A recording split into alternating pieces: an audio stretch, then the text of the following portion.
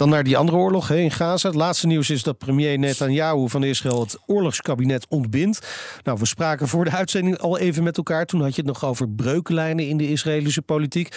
Maar dit, dit lijkt toch wel op een hele stevige breuk. Ja, maar eigenlijk kun je zeggen dat het oorlogskabinet, dat landelijke brede kabinet, het er eigenlijk al niet is sinds Gans eruit is. Uh, het uh, kabinet, het oorspronkelijke kabinet waarmee de oorlog is begonnen, is natuurlijk een centrumrechtskabinet. Die zit er nog steeds in. Maar je ziet wel rare dingen gebeuren. Bijvoorbeeld dat het uh, Israëlische leger kondigt een soort wapenstilstand overdag af. Waar uh, de rechtse kant van zijn kabinet het absoluut niet mee eens is. En dat hij een soort middenpositie moet innemen. Dat hij er ook niet blij mee is. Dat zijn wel dingen die in Israël eigenlijk zelden hebt gezien. Dat er licht schijnt tussen de politieke leiding en de top van de krijgsmacht. Dus dat laat zien dat de tegenstellingen binnen Israël en intern Israël, ook gezien de demonstraties in heel veel steden gisteren, ja, die worden alleen maar groter.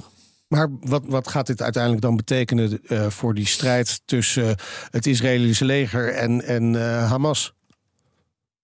Nou, eigenlijk zie je als er geen wapenstilstand komt, naarmate deze oorlog langer duurt, en misschien is dat ook wel het belang van Hamas, dat de steun van Israël van buitenaf afbrokkelt en de eenheid in Israël van binnenuit afbrokkelt.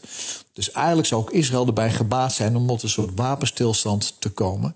Want elke dag dat deze oorlog verder duurt, wordt de, wordt de, positie van Israël, zowel intern als ook internationaal, wordt niet sterker. Nou, wie weet dat dit uh, leidt tot inderdaad uh, nadere vredesonderhandelingen. Hartelijk dank, Marten Kruijf, voormalig commandant der strijdkrachten en uh, medepresentator van de podcast Veldheren.